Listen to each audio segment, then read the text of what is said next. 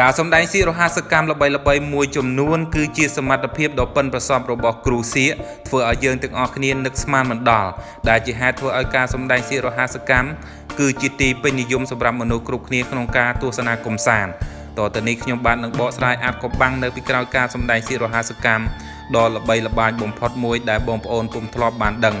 នោះគឺជាការសម្ដែងសៀករត់គេចពីអន្តៈមរណៈរបស់លោក Hiroki Hara ជំរាបសួរនិងសូមស្វាគមន៍ការចូលមកកាន់កា Channel ហើយថ្ងៃនេះដែរខ្ញុំបាននឹងបកស្រាយលម្អិតទាក់ទងជាមួយនឹងអាចកំបាំងនៅពីក្រោយការសម្ដែងសៀកក្នុងកម្មវិធីដ៏ល្បីបំផុតមួយ របស់ American Got Talent លោក Hiroki Hara ជាអ្នកសម្ដែងសៀកជនជាតិជប៉ុនដ៏ល្បីល្បាញមួយរូបហើយគាត់បានសម្ដែងសៀកនេះនៅក្នុងកម្មវិធី American Got Talent ដែលធ្វើឲ្យទស្សនិកជននិងគណៈកម្មការកំពុងតែទស្សនាមានភាពភ័ យខ្លាចនិងរន្ធត់យ៉ាងខ្លាំងនេះគឺជាអ្វីដែលគាត់បានសម្ដែងដំបូងពេលដែលគាត់ឡើងមកដល់លើឆាកគាត់បានសម្ដែងក្បាច់ផ្លាស់ប្ដូរសម្លៀកបំពាក់ក្នុងមួយប្រព្រឹត្តភ្នែកដែលធ្វើឲ្យទស្សនិកជននិងគណៈកម្មការមានភាពអបអរសាទរយ៉ាងខ្លាំងបន្ទាប់មកគាត់បានចូលទៅក្នុងប្រអប់អន្ទាក់មួយទៀត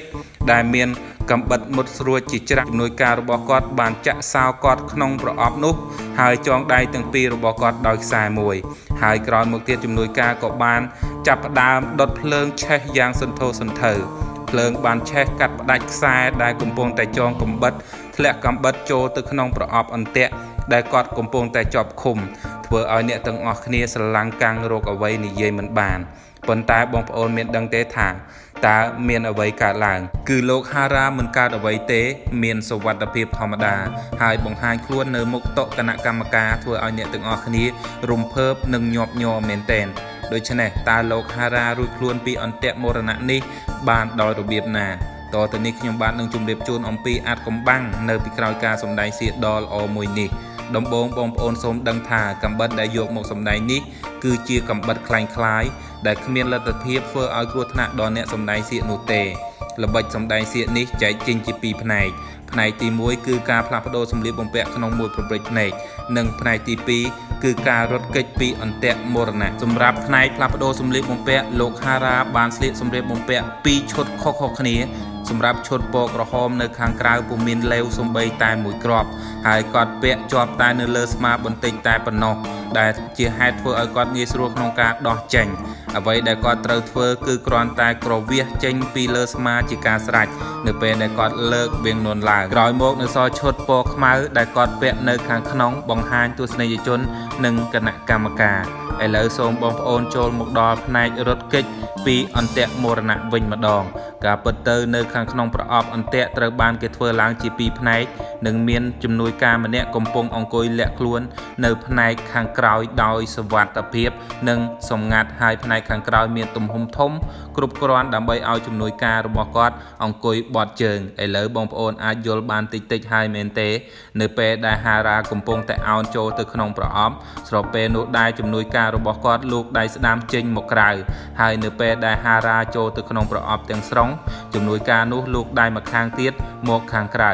ម្យ៉ាងវិញទៀតនៅខាងក្រោមប្រអប់មានទ្វារចេញសម្ងាត់មួយដែលធ្វើឲ្យលោកហារ៉ាងាយស្រួលចេញមកចូលទៅក្នុង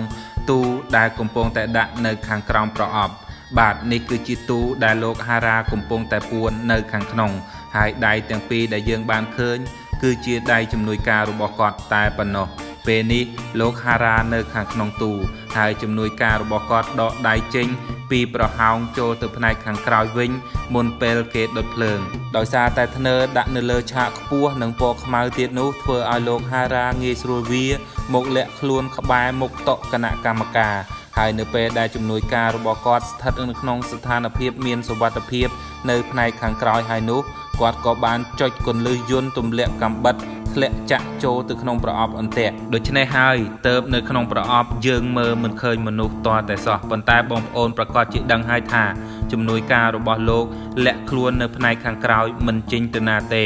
ហើយគ្របខ្លួនឯងដោយក្តារខ្មៅនៅខាងក្នុង ជាចុងក្រោយ លោកហារ៉ាបង្ហាញខ្លួននៅមុខតុគណៈកម្មការដើម្បីពញ្ញាក់អ្នកទាំងអស់គ្នានឹងធ្វើឲ្យការសម្ដែងរបស់គាត់ជាការសម្ដែងសៀកល្អបំផុតនិងល្បីល្បាញគ្រប់ទិសទី2ដើរលើទឹក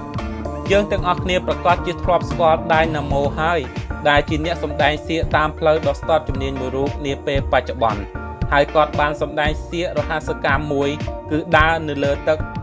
ទន្លេថេមប៉ុន្តែយើងឆ្ងល់ថាតើ